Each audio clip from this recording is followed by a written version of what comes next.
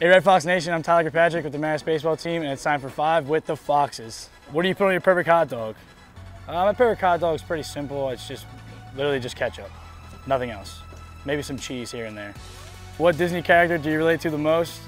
Honestly, I gotta say Donald Duck. I like to I like to joke around, have a good time, and uh, all my roommates know that too. What song or artist has to be on your pregame playlist?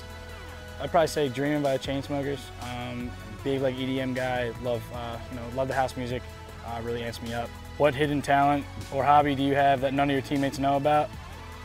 I don't really have any like hidden talents. I mean, I dunked a basketball one time in high school, and I, I still try and tell people I can, but I really can't. What Wizarding House would you be in at Hogwarts and why?